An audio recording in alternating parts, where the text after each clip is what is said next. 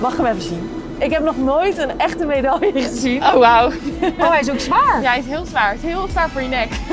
Onze sporters hebben keihard gepresteerd op de Olympische Spelen. Wij vliegen mee terug naar Nederland en stellen al onze prangende vragen. Welkom bij Oranje Boven. Goeiedag, dit is your captain speaking. We hebben vandaag op de vlucht Ilse Paulus en Marieke Keizer, de roeikoningin van Nederland. En natuurlijk Selena Piek, de beste badmintonster die we hebben. Marieke, Ja. van harte gefeliciteerd. Dankjewel. Lekker. Met je mooie bronzen plak. Kijk eens.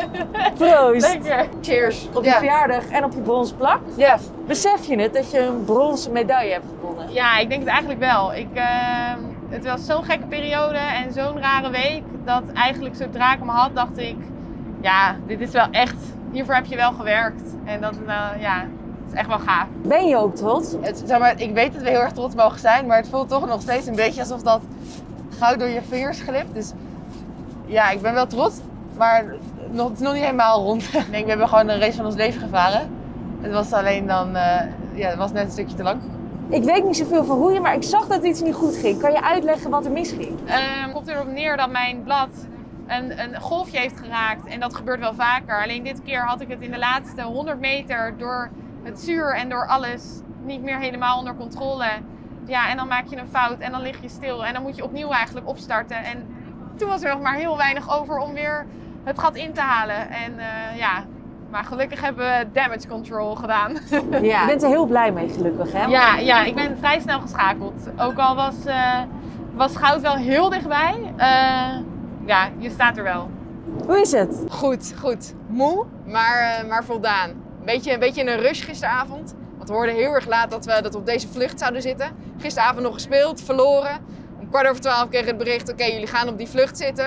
De kamer was echt een teringzooi. Die heb ik echt moeten... moeten Oh ja? Ja, ja, ja. Het is echt verschrikkelijk. Overal kleding, spullen. eh, en je, je wil je Olympisch dekbed meenemen. Ja, je wil en alles meenemen, je wil alles, ja, je hebt zoveel dingen heb jij gekregen. Wij zijn heel erg trots op jou. We hopen dat je het ook eh, op jezelf bent. Zeker. En we Ja. hebben een ode voor je. Oké. De afstand van hemel naar hel is 100 meter. Eén onverwachte misslag. Tuurlijk doet dat pijn en is er rauwe emotie. Maar jullie toonden zoveel doorzettingsvermogen.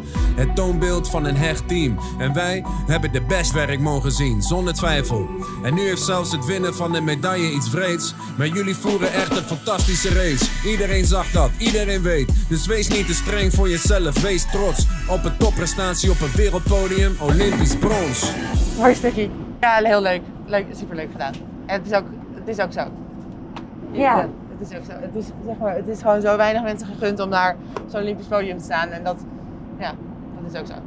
Hoe heb jij de hele Olympische Spelen ervaren nu? Met corona, met Ja, eigenlijk de gezelligheid die je mist, denk ik. ja, nou, de eerste vier dagen waren wel echt dat Olympisch gevoel. Dat ik in de ringen heb gehangen. En ja, ik voelde echt die Olympische spark, voelde ik toch. Ik Ja? had me erop ingesteld dat dat er niet zou zijn.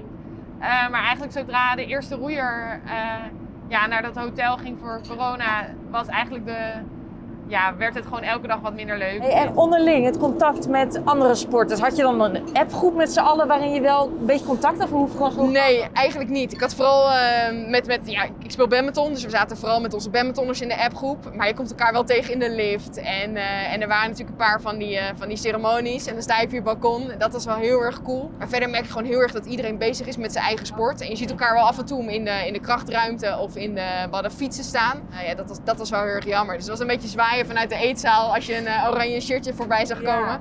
Maar dat is natuurlijk wel fijn, dat valt mooi op. En je wil gewoon op zo'n Olympisch toernooi wil je gewoon de beste versie van jezelf laten zien. En ik kan me voorstellen als dat niet lukt, dat dat gewoon heel erg teleurstellend is. En ik heb wel het gevoel dat we dat hebben gedaan. Dus dat, dat geeft wel een lekker, eh, ja, een lekker einde. Ben je alle sushi eigenlijk al zat? Ik hou niet van sushi. Niet van sushi? Waar hou je wel van? Hou je van lekkere Nederlandse zoetigheid? Ja, vind ik helemaal lekker. Kijk, dat komt helemaal top uit, want we hebben lekker voor jou. Ah, lekker! Kom maar, ik zal het voor je aanpakken. Poppetjes! Dankjewel. Oh, lekker! Kijk eens, daar kan je lekker van genieten. Oh, dat vind ik Hoeveel zin lekker. heb je hier? Ja, dit, dit heb ik al gemist. ja. ja. We hebben nog iets voor je. Oh, wat leuk. Mag ik deze opzetten? Ja. Ja. Hoi liefjes. We zijn natuurlijk begonnen met een filmpje en we sluiten nu ook graag af met een filmpje. We hebben heel veel van je genoten hier in Zuid-Frankrijk, op je favoriete plek. We missen je en we zien je gauw. Dag schat. Tot straks. Doei. Het is zo tof. Wat lief, waar heb je dat nou weer geflikt? We hebben zo onze ingangen. ik, ik geloof het. Ik, oh, dit vind ik echt tof. Oh, Geniet er lekker van. ja. Mm. Neem ook dit hoor. Ja, ja, proost. Ik eh, ga er ook voor. Proost. Proost. Top gedaan. Dankjewel. Nieuwe aflevering van Oranje Boven met Remy Bonjaski.